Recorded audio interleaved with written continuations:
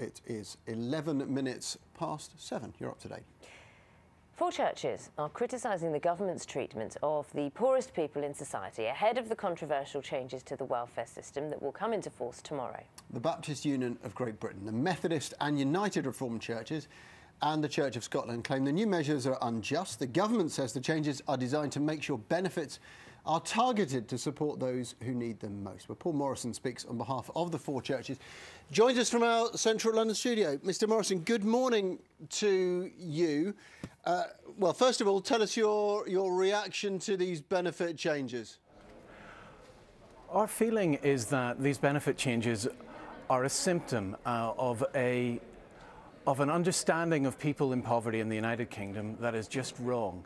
It is an understanding of people that they somehow deserve their poverty, that they are somehow lesser, that they are not valued. And the churches believe that they are valued, and we believe that they should be treated much more fairly than they are being. Well, let's go back, if we can, then to sort of the basics. Do you accept that the government does have to make cuts somewhere along the line? We, members of churches, will have different views on that. But what we won't have different views on is that those people are valuable and they shouldn't be disproportionately affected and that whatever problems the country faced, it wasn't them that caused it, and it shouldn't be them that pay for it. But isn't this what governments do? Is that they take a certain amount of money and they have to distribute it, and the government would say that the system that was in place was dysfunctional.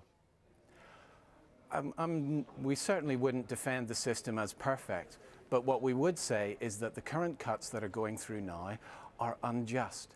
The total benefit cap is nine times more likely to affect children than it is to adults. How can that be just that those children are going to be affected and those children's lives are going to be damaged because their parents don't have enough money?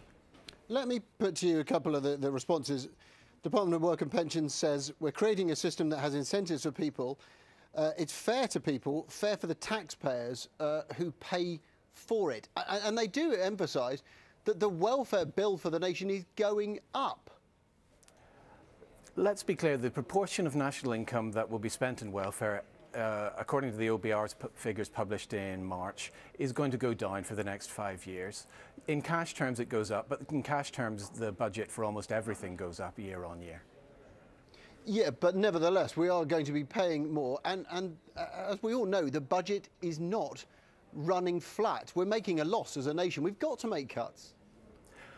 Indeed, and there are all sorts of ways of making cuts. All we are saying is that the reason why cuts to benefits and the reason why cuts to services to the poorest and most vulnerable in society are acceptable is that we have come to believe that the poorest and most vulnerable are in some way deserving of their fate. And that is straightforwardly not true that the poorest are not lazy. The majority of people who are long-term in benefits are ill or disabled. The majority of people on unemployment benefit get a new job within sort of 13 weeks. But the, the These are not people point who are that they want to emphasise, and it does resonate with a lot of people, is that should people who are claiming benefits end up earning, in some cases, double the national income of those who are working?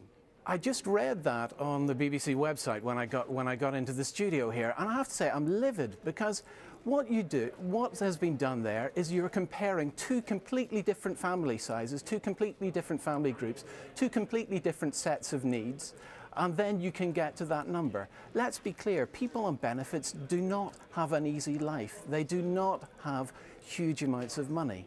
They are struggling day to day. Our churches see that. Our churches who have food banks see that people, even in work, on people who are, are on benefits, are needing help. Let me, on, on the broader question, uh, churches uniting to criticise a, a government, how big a step do you see that? What we united to do was to was oh, a month ago we published a report called uh, about ending myths about poverty.